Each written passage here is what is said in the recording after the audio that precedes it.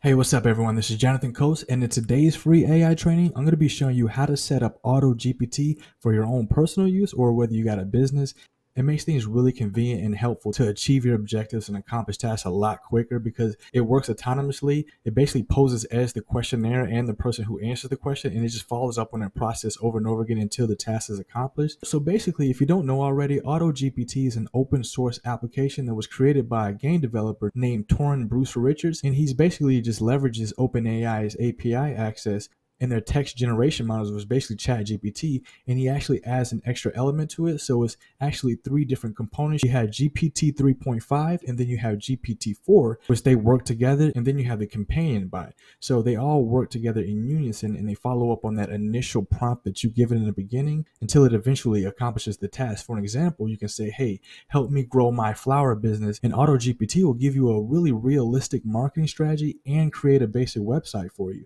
and then follow up on every everything that you need to do in order to optimize that website and create accounts and do everything. So, so what makes AutoGPT really competent is its ability to interact with different softwares, both locally, online, and offline, such as word processors and web browsers. So it's able to accomplish your task. So it's able to navigate through the internet and just really help you out a lot. It's like the perfect assistant. So I'm going to show you how to set this up in this video. So the first thing we need to do is not to be confused with ChatGPT Plus, which is like $20 a month. So we need to go to this website here, platform.open openai.com so that you're able to get API access. And this is really important for later on in the video once we set up Visual Studio as well as Python and Git. So I'm going to show you how to download and install AutoGPT as well as set everything together. But once we have that all set up, we're going to need the API secret key. And in order to do that, you have to come here and put in your bank details. Now it is pay as you go.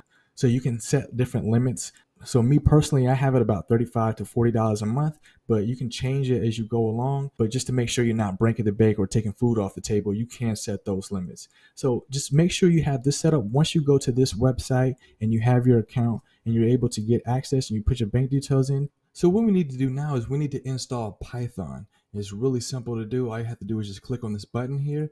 And once this saves, you just open it up and what you need to do is you need to install it as a .exe to path. And it should give you a checkbox for you to tick and I'll show you exactly what that looks like. All you have to do is just click on open file. And then once that opens up, you'll see it right here, add python.exe to path. And you can go ahead and keep this ticked as well where it says use admin privileges when installing py.exe. So I'm going to go ahead and click on this and then you just click on install now after that. So I'm going to go ahead and do that. All right, so once that's done, as you can see here, it says setup was successful. We're going to go ahead and move on to the next step. So we can just go ahead and click on close with this. Now that we have that installed, we can go over to Git and we're going to be downloading this. Now, since I'm on a Windows, I'm going to go ahead and select the 64 bit and just click on that. And we're just going to go ahead and run the .exe as soon as it's saved to our computer. So I'm just going to click on this and just have it saved for me. And then I'm going to go ahead and click on open. So all we do from here is really simple. You just click next on everything. So I'm going to go ahead and do that. Next, next, next, next, next. Go ahead and click on next until we get all the way to the end. And then click on install. All right, so once that's finished, we'll just click on finish. And then our next step is to go to Auto GPT. We can exit out of this unless you want to read the release notes and introduction. But we're just going to go to Auto GPT. You'll see this in the description from GitHub. Once you get to this page here, this is the stable release. All you got to do is just scroll all the way to the bottom here. We're looking for the source code in a zip file. So just click on that and then let that go to your desktop. And the easiest way is just to open it and then if you have a zip file, whether it be WinRAR or 7-zip or WinZip, you can just use those and then just extract it directly to your desktop. So I'm going to go ahead and open this here. And then what I'm going to do is I'm just going to drag this to my desktop like so. I'm going to go ahead and just copy it to my desktop. And once you have that installed, you extract it to your desktop you'll see all of the files in here like so. And once you see this, that means you got everything right. All right, so our next step now is to go to, in the description, you'll see where it says Visual Studio. And you just want to download this one, the stable build, so that we can go ahead and start working with AutoGPT. We're going to be using this. So I'm going to go ahead and click on download from here. And this page will come up. As soon as it's downloaded, go ahead and open it. You can choose the desktop icon if you like. You can pin it to your taskbar. I'm going to go ahead and click on open I accept the agreement, click on next, next, next, and then you can create a desktop icon if you want. I'm just gonna go ahead and click on next, install, So once you got it launched, Visual Studio should open up like this and you can go through the introduction and whatnot, choose your themes. All you gotta do from here is go to the top where it says file, open that and then click on open folder and then choose Auto GPT. So I saved it right here. I'm gonna go ahead and choose that and then click on select folder and then should open right up. So it's going to ask you if you trust the authors of the files of your folder, and it is my folder, so I'm going to go ahead and click trust the authors of all the files in the parent folder, Jonathan Coates, and then yes, I trust the author. So it's going to ask me if I want to install the recommended dev containers extension from Microsoft for this repository. I'm going to say yes. So I'm going to click on install and just let that happen in the background. So I'm going to go back to where we started here. And then I'm going to scroll down to where it says env.template. Click on that. And once you click on this, you want to scroll down to where it says your OpenAI key. It'll be in red here. Sometimes it's on a different line than, than other times. So just check. It might not be on 46 for yours. It could be on 71. It could be on 58. But for mine, it's on 46.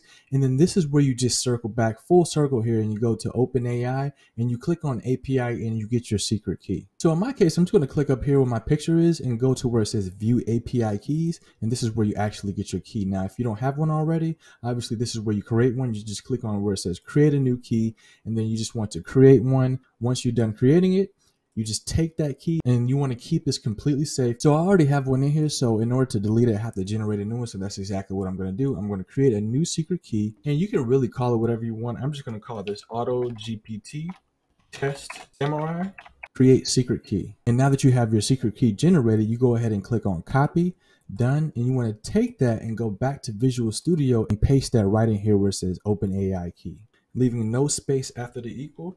So just Control V and there we have it. And once you've done that, what you want to do now is just go to where it says env.template and just rename it to just env. And then after that, what we're going to be doing is just saving it. So I'm just going to take the template out of here and just keep it as .env. Click enter like so. And then we go up to here where it says file and then just click on save. So now that we got that all taken care of, what we need to do now is just go down to where it says run.bat and then we're going to right click on that and then go to where it says reveal in file explorer. So just go ahead and do that.